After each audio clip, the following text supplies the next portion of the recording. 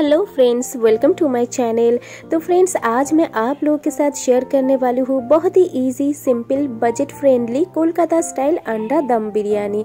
और हम सभी को पता है कि कोलकाता की बिरयानी बहुत ही टेस्टी और एरोमा की फ्लेवर से भरपूर रहता है। चलिए रेसिपी को स्टार्ट करते हैं। तो यहाँ पे मैंने दो कप बासमती राइस लिया है जिसे मैंने दो से तीन बार अच्छे से वॉश कर लिया है। अब हम इसे 20 मिनट के लिए सोक करके रख देते हैं। तो चलिए अब हम एरोमा बना लेते हैं। यहाँ पे मैंने टू टेबल स्पून दूध लिया है। उसी के साथ एक चुटकी केसर वाला रंग ऐड कर देते हैं। और साथ ही में तीन से चार बूंद हम यहाँ पे मीठा आतर ऐड करते हैं। तो इसी से ही कोलकाता की बिरयानी में बहुत ही बढ़िया एरोमा आता है। तो अब हम इसे अच्छे से मिक्स कर लेते हैं। तो बन गई है हमारी बिरयानी की एरोमा तो चलिए अब हम इसे साइड पे रख देते हैं। तो नेक्स्ट यहाँ पे मैंने प्रेशर कुकर में तीन मीडियम साइज़ के आलू लिया है, जिसे मैंने दो हिस्से में डिवाइड कर लिया है और साथ में डाल देते हैं चार अंडा। आप यहाँ पे अपने हिसाब से आलू और अंडा ले सकते हैं। तो चलिए अब हम इसे ढक देते हैं और दो सीटी आने तक इसे बॉयल कर लेते हैं। इससे ज़्यादा सीटी ना लगाए, नहीं तो आलू और अंडा बहुत ज़्यादा बॉयल हो जाएगा, जो कि बिरयानी के लिए सही नहीं है। तो मैंने यहाँ पे पानी रख दिया है गर्म होने के लिए। अब हम इसमें डाल देते हैं कुछ खरे गरम मसाला। तेज पत्ता, जावित्री, स्टार अनाज, छोटे इलायची, दारचीनी, लौंग, बड़ी इलायची और एक चौथाई चम्मच शाहजीरा। इसी के साथ हम डाल देते हैं टू टेबल स्पून नमक ताकि हमारी बिरयानी के राइस में नमक की स्वाद आ जाए। साथ में डाल देते हैं two tablespoon cooking oil यानी कि रिफाइंड ऑयल अब हम इसे ढक देते हैं और बॉइलिंग आने तक इंतज़ार करते हैं। तो ये देखिए, पानी में बॉइलिंग आ गया है। अब हम इसमें डाल देते हैं वन टीस्पून केवड़ा एसेंस और साथ ही में जो राइस हमने सोख करके रख दिया था 20 मिनट के लिए, उसे भी डाल देते हैं। तो हल्के हाथों से राइस को एक बार अच्छे से स्टेयर कर लेते हैं। तो चार से पाँच मिनट लगेगा राइस को 70 टू 80 परसेंट कुक होने में। तो राइस में बॉइलिंग आ गया है। अब इसमें डाल देते हैं एक लेमन का जूस तो चार मिनट हो गया है तो ये देखिए, हमारी राइस 70 टू 80 परसेंट कुक हो चुका है और आप देख सकते हैं राइस की लेंथ कितना लंबा है। तो अगर आप राइस को सोक करके रखते हैं, तभी राइस की लेंथ इतना लंबा होता है। तो ये देखिए, राइस टूट रहा है, पर स्मैश्ड नहीं हो रहा है। तो एकदम परफेक्ट कुक हुआ है राइस। तो चलिए फ्लेम को स्विच ऑफ़ कर देते हैं और पानी को ड्रेन ऑफ़ कर लेते हैं। तो यहाँ पे हमारी अंडा और आलू भी बॉईल हो गया है और मैंने अंडे की छिलका भी उतार लिया है। तो अब हम अंडे में चीरा लगा देते हैं। अंडे को फ्राई करने के टाइम पे अंडा फटता है। तो इसी तरह अगर आप चीरा लगाते हैं तो अंडा फ्राई करने के टाइम पे नहीं फटेगा। तो इसी तरह हम अपने चारे अंडे में चीरा लगा देते हैं। तो मैंने यहाँ पे अंडे में चीरा लगा दिया है तो इसमें अभी एक चौथाई चम्मच हल्दी पाउडर डाल देते हैं और साथ ही में डाल देते हैं एक चौथाई चम्मच रेड चिली पाउडर। तो अब हम इसे थोड़ा सा शेक कर लेते हैं और हल्दी और रेड चिली पाउडर को हम अंडे में कोट कर लेते हैं। इससे अंडे में बहुत ही बढ़िया कलर आ जाएगा तो चलिए हम आलू को भी हल्दी पाउडर और रेड चिली पाउडर से कोट कर लेते हैं, सिम इसी तरह।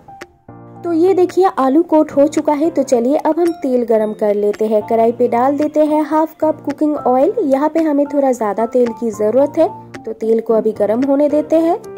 तेल गरम हो चुका है तो अब हम इसमें डाल देते हैं मैरिनेट किया हुआ अंडे को। तो अंडे को हम लाइट गोल्डन कलर होने तक फ्राई कर लेते हैं। अंडे को फ्राई करने से अंडा खाने में बहुत ही टेस्टी लगता है और बहुत ही बढ़िया कलर भी आता है। अंडे के साथ साथ हम आलू को भी फ्राई कर लेते हैं। तो आलू को भी हम लाइट गोल्डन कलर होने तक फ्राई कर लेंगे। अंडा यहाँ पे फ्राई हो चुका है तो चलिए अब हम इसे प्लेट में निकाल लेते हैं। आलू भी गोल्डन कलर में फ्राई हो चुका है तो चलिए अब हम इसे प्लेट में निकाल लेते हैं। आलू को फ्राई करने से आलू खाने में बहुत ही टेस्टी लगता है। इसी तेल पे डाल देते हैं एक तेज पत्ता, दो छोटे दारचीनी के टुकड़ा दो छोटे इलायची और दो से तीन लौंग।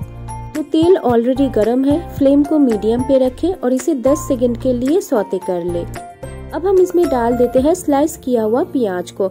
तो यहाँ पे मैंने तीन मीडियम साइज़ की प्याज लिया है। तो फ्लेम को अभी हम मीडियम टू हाई पे रख देते हैं और प्याज को गोल्डन ब्राउन कलर होने तक फ्राई कर लेते हैं। तो ये देखिए, प्याज गोल्डन ब्राउन कलर में फ्राई हो चुका है तो फ्लेम को एकदम लो पे रखे और थोड़ा सा फ्राई किया हुआ प्याज को अब हम रख देते हैं उठा के जो कि बिरयानी को असेंबल करने के टाइम पे हमें इस्तेमाल करना है। अब हम इसमें डाल देते हैं डेढ़ टीस्पून अदरक लहसुन का पेस्ट तो मीडियम फ्लेम में एक मिनट के लिए हम इसे भून लेते हैं ताकि अदरक लहसुन का कच्चापन चला जाए। अब हम इसमें डाल देते हैं one teaspoon Kashmiri red chilli powder one teaspoon धनिया पाउडर, हाफ़ टी स्पून जीरा पाउडर, तीन से चार हरी मिर्च और चॉप किया हुआ टमाटर। तो यहाँ पे दो मीडियम साइज़ की टमाटर है। तो फ्लेम को एकदम लो पे रखें, नहीं तो मसाला जल सकता है। अब हम इसे अच्छे से मिक्स कर लेते हैं और एक से दो मिनट के लिए इसे भून लेते हैं।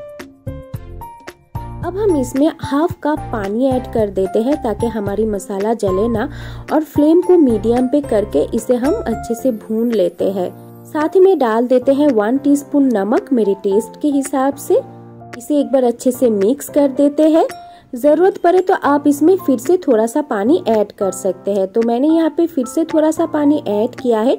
अब हम इसे ढक देते हैं और पाँच मिनट के लिए मीडियम फ्लेम में कुक कर लेते हैं। पाँच मिनट हो गया है तो ये देखिए, हमारी ग्रेवी अच्छे से भुन चुका है। टमाटर भी सॉफ्ट हो चुका है और ग्रेवी में से ऑयल भी सेपरेट हो चुका है। अब इसमें डाल देते हैं 100 ग्राम दही। तो फ्लेम को एकदम लो पे रखें और दही को ग्रेवी के साथ अच्छे से मिक्स करें। फ्लेम को मीडियम या तो हाई पे ना रखें, नहीं तो दही फट सकता है। तो लो फ्लेम पे अभी हम इसे पाँच मिनट के लिए कुक कर लेते हैं, जब तक कि दही का पूरा मॉइस्चर निकल नहीं जाता है और दही की पानी पूरी तरह से ड्राई नहीं हो जाता है। ये देखिए, दही का पूरा मॉइस्चर खत्म हो चुका है और ग्रेवी भी बहुत ही बढ़िया तरीके से भून चुकी है। ऑयल भी सेपरेट हो चुका है। तो यहाँ पे जो एक्स्ट्रा ऑयल है, अब हम इसे निकाल लेते हैं ताकि बाद में हम इसे बिरयानी में इस्तेमाल कर सकते हैं। तो मैंने यहाँ पे एक्स्ट्रा ऑयल निकाल लिया है। तो अब हम इसमें डाल देते हैं one teaspoon biryani masala powder अब फिर से इसे अच्छे से मिक्स कर देते हैं और एक मिनट के लिए मीडियम फ्लेम में भून लेते हैं। अब इसमें एक कप पानी डाल देते हैं क्योंकि बिरयानी के लिए हमें यहाँ पे ग्रेवी की ज़रूरत है। इसे अच्छे से मिक्स कर लेते हैं। अब इसमें डाल देते हैं फ्राई किया हुआ अंडे को। तो अंडे को अभी हम ग्रेवी के साथ अच्छे से मिक्स कर लेते हैं और साथ ही में डाल देते हैं फ्राई किया हुआ आलू को। तो आलू को भी हम अभी ग्रेवी के साथ अच्छे से मिक्स कर देते हैं ताकि ग्रेवी की फ्लेवर हमारे अंडा और आलू में आ जाए। तो चलिए अब इसे ढक देते हैं और पाँच मिनट के लिए मीडियम फ्लेम में कुक कर लेते हैं। पाँच मिनट हो गया है तो ये देखिए हमारी अंडा ग्रेवी कितना बढ़िया लग रहा है दिखने में। तो एक बार अच्छे से स्टेयर कर लेते हैं। तो चलिए अब हम बिरयानी को असेंबल कर देते हैं। तो फ्लेम को स्विच ऑफ़ कर देते हैं और ऊपर से राइस को बिछा देते हैं। तो मैं यहाँ पे सिंगल लेयर बना रही हूँ। आप चाहे तो दो तीन लेयर बना सकते हैं। तो ऊपर से राइस को अच्छे से बिछा देते हैं। अब इसमें डाल देते हैं तेल। तो मैंने अंडा ग्रेवी से जो एक्स्ट्रा ऑयल निकाल के रखा था, उसे डाल देते हैं। इससे हमारी बिरयानी में बहुत ही बढ़िया कलर आ जाएगा। और साथ ही में डाल देते हैं बिरयानी एरोमा तो टू टीस्पून या तो थ्री टीस्पून बिरयानी एरोमा डाल दे। अब ऊपर से फ्राई किया हुआ प्याज को भी डाल देते हैं। तो चलिए अब हम इसे कवर कर देते हैं। तो एक पेपर फॉइल के मदद से हम इसे कवर कर देते हैं। तो अब हम इसे पाँच मिनट के लिए हाई फ्लेम पे दम पे रख देते हैं। पाँच मिनट हो गया है तो अब हम कढ़ाई के नीचे एक तवा रख देते हैं और लो फ्लेम पे पंद्रह मिनट के लिए दम पे रख देते हैं। पंद्रह मिनट हो गया है तो फ्लेम को स्विच ऑफ़ कर देते हैं, पर अब हम इसे नहीं खोलेंगे। दस मिनट के बाद हम इसे खोलेंगे। तो 10 मिनट हो गया है, बिरयानी भी सेट हो चुका है तो चलिए अब हम इसे खोल लेते हैं। तो ये देखिए फ्रेंड्स हमारी बिरयानी में बहुत ही अच्छे से दम लग चुका है।